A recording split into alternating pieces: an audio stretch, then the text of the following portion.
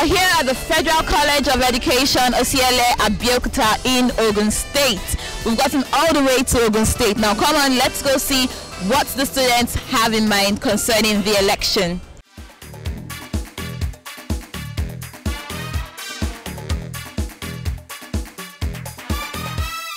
Alright, so I'm here with Comrade at the Federal College of Education in Abeokuta. I want to vote for Buhari. Why Buhari? Uh, I, there are some things that I think that that, that, that, that need to be changed in this federal in, the, in this government of Nigeria. But I think we, if, if, if PDP can, if PDP have been ruling us for some years, some years back now, and we need to change the system of the government in this country so that we can have maybe we can have better change or better maybe the country can move forward in better ways. Buhari is a man of people's trust Okay. and so far so good we can see what the, uh, the last president have done Yeah. and it's like it's not comfortable for people living in nigeria so i think if we choose another person the person will have learnt from what the, the from the mistake the other person have done want change. I'm voting for uh, APC generally. I would actually go for APC too, and that would be Buhari. Well, I think um, it's not about change actually. Yeah. I think it's about the pers- personality. Mhm.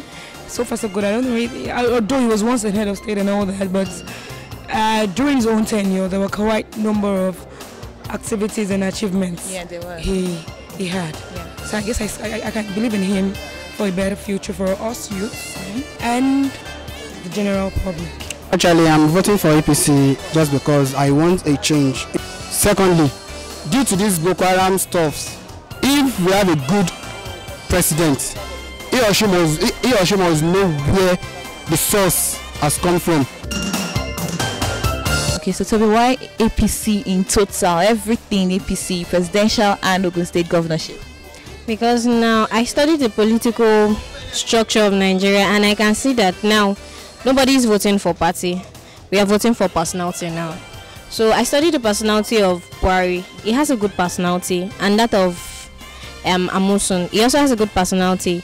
And for Amosun, he has done a lot of things which he hasn't completed. So if he's been given the second term, he'll be able to complete it.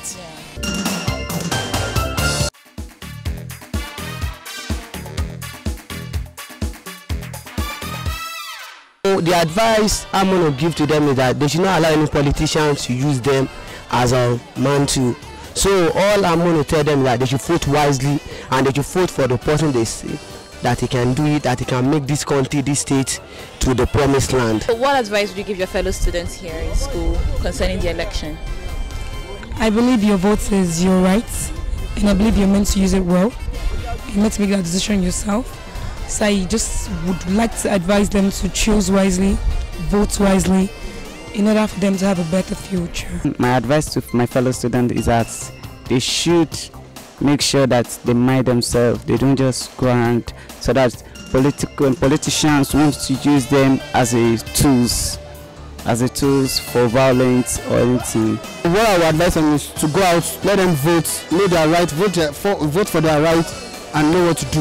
My advice for my fellow students is just to exercise their civil rights and they should not get manipulated by any of the politicians because their vote is their right.